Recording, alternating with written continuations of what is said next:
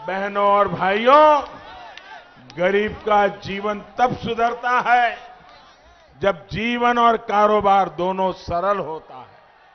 रोज़गार के अवसर बनते हैं।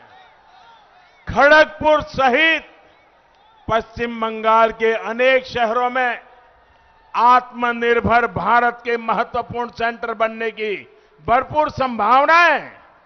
इन संभावनाओं पर भी टीएमसी सरकार ने लगातार चोट पहुंचाई है, प्रहार किया है। एक तरफ़ देश निरंतर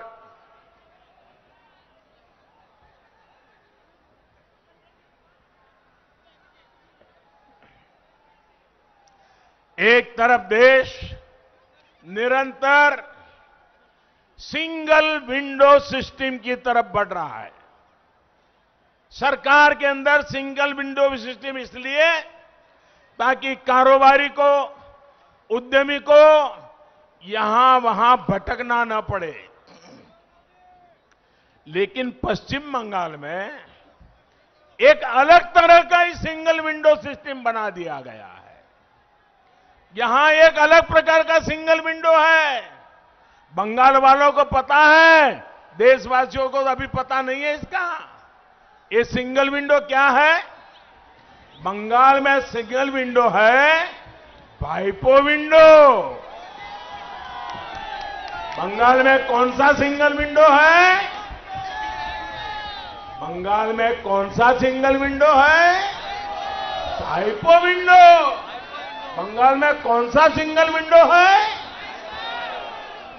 पश्चिम बंगाल में इस विंडो से गुजरे बिना कुछ नहीं हो सकता।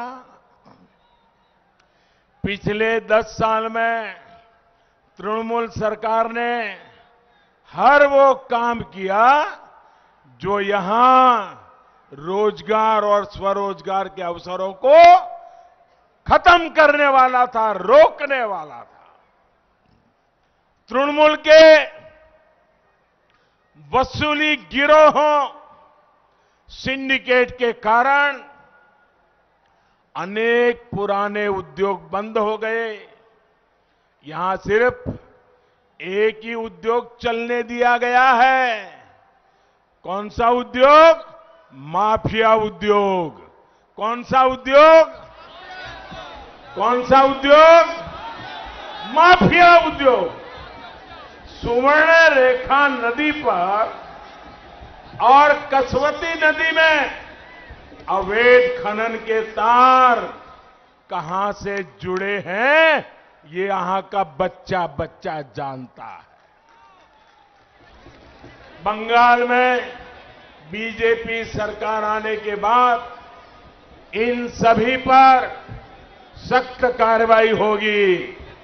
कानून का राज स्थापित किया जाएगा।